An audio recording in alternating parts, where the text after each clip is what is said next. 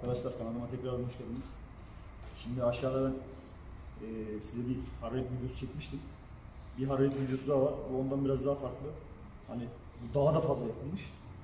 Harareti göre göre üzerinde gidilmiş bir motor. Bunda hani sindirlere ne oluyor onu göstereceğim ben size. Kameraman yaklaşsın şöyle. Ahmet Bey. Şu sindirlerin içlerinin diplerindeki şu derin çizikleri gösterebiliyor mu bakalım bir? Evet gözüküyor. Şu derin çizikler. Şurada da var. Bu normal hararetten daha ileri gitmiş. Pistonlar sarmış. Neden sarıyor? Şimdi eee şöyle yani piston var. Eee gömleğin arasında bir boşluk var. Ne boşluğu? Burada pistonun yukarıdan aşağı çalışırken bir yağ film boşluğu ve sekmanların rahat çalışabilme boşluğu oluyor. Tabii sekmanlar açılıyor aşağıya kompresör bırakmıyor. Eee bu belli bir ısıya gelince belli bir genişleme oluyor. Bunun toleransını falan hepsini birden veriyor fabrika. Fakat biz e, susuz vaziyette devam ettiğimiz zaman piston şişiyor. Orada rahat çalışamaz hale geliyor. Ne oluyor? O zaman burayı aşağı yukarı inerken böyle çizerek, derin derin çizerek iniyor. Böyle olduğu zaman da ne oluyor? Tabi burada kompresyon oluşmuyor ondan sonra. Ben pistonu da çıkaracağımızı, piston da çiz- çizilmiş onu da göstereceğim. Zaten motor yüksek ısıya çıktığı zaman bu silindir kapağı Sindir kapağının contanın bastığı yerler, conta dediğim mesela. Önde şimdi iki tane sindir kapak contası var. Biri klindirik, biri çelik conta. Şimdi sindir kapak contasının bastığı yerler, şuralar. Bu çelik olduğu için buralar biraz çıkıntılı oluyor. Kompresyon kaçırmasın diye haliyle.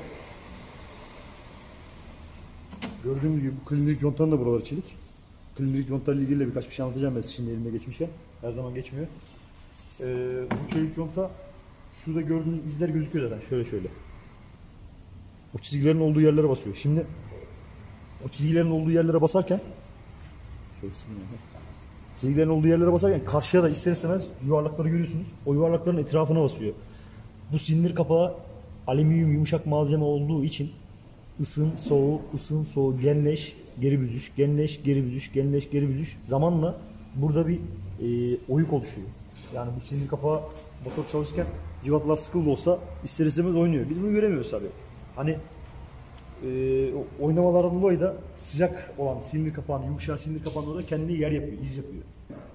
Burada ne oluyor zamanla? İşte ısı soğuk ısı soğuk bir de hararet yapıp araba sus kalıplar yüksek ısıya çıkarsa örneğin kaç dereceye dayanıyor? En fazla 100-110 dereceye dayanıyor. Biz bunu 150-170 dereceye çıkartırsak ne oluyor? Buradaki izler kapakla zaten izler daha derinleşiyor. Ee, silindir kapağını açıyoruz. Contamızı değiştiriyoruz. Buramızı frenye yapıyoruz, yani revizyon yapıyoruz. Dümdüz taşlattırıyoruz. Sıfır kapak gibi oluyor. Fabrika aslında taşlamaya e, şey yapmıyor ama sıcak bakmıyor ama e, tabi herhalde sinir kapağını değiştirecek halimiz yok. Tabii daha da yukarıya giderse sinir kapak contasından daha da fazla bazen müşteriler soruyor işte Erkan Usta conta yansa kaçamaz mı? E, conta yansa? İşte bak motora mı? Gibi oluyor. Onun için kullanırken aracın suyuna, hararetine, yağlanmasına, motor yağına. Bunların dördüne çok dikkat ediyoruz. Bize göstergede uyarıya dikkat ediyoruz. Haftada bir kere en az motor açıyoruz, suyuna, yağına bakıyoruz. Yapmamız gereken bu. Eğer onlara bakmazsak o bizim cüzdanımızı kurcalıyor. Geliyor cüzdanı çıkarıyor, içine bakıyor. Anladın mı? Onun için ayık olacağız. Yağ ile suyla kontrol edeceğiz. Şimdi bu sarmış, aşırı hararete çıkmış, susuz kalmış. İstobedine kadar gitmiş motor. Hararetten dolayı istobedine kadar gitmiş. Şimdi motor turbolu, dizel motorlar da eğer e, hararetli veya işte turbo bozulduğu zaman yüksek devirde çalışıp ambereye kalkıp da aşağıdaki videoda gene anlattım ben onu. Geçen arabanın motorunu yaptık. Devam ederseniz piston nereye kadar gidiyorsun? Piston eridiği zaman, motor üstü bittiği zaman bir daha bunun kurtuluşu yok. Motor yapılacak. Abi. Onun için e, hararete dikkat ediyoruz. Yüksek ısıya çıkarsa arabaya makinelere çekiyoruz bir problem var. Kardeşim önüne poşet mi yapıştı? Lastik kağıdı mı yapıştı arabaya? Bunları kontrol ediyoruz. Suyunu kontrol ediyoruz. Yağını kontrol ediyoruz. Yolumuz öyle devam ediyor. Gerekirse motoru biraz soğutuyoruz. Bak sıcak havalar yaklaşıyor şimdi. Ona göre uyanık olalım. Şimdi pistonu çıkaracağım. Ben size içini de göstereceğim. İçine ne olmuş?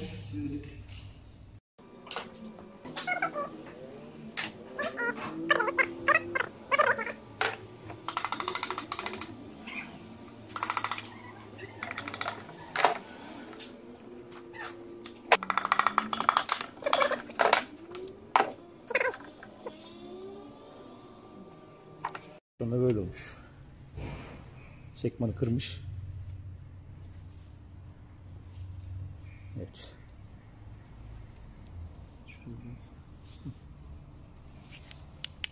İşte haşeretten dolayı böyle oluyor.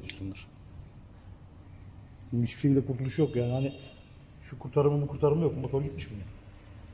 Pistonlar değişecek, gömlek taşlanacak yani normal bildiğimiz revizyon rektife yapılacak motora. Mahvolmuş sekme yani. Piston diye bir şey kalmamış burada.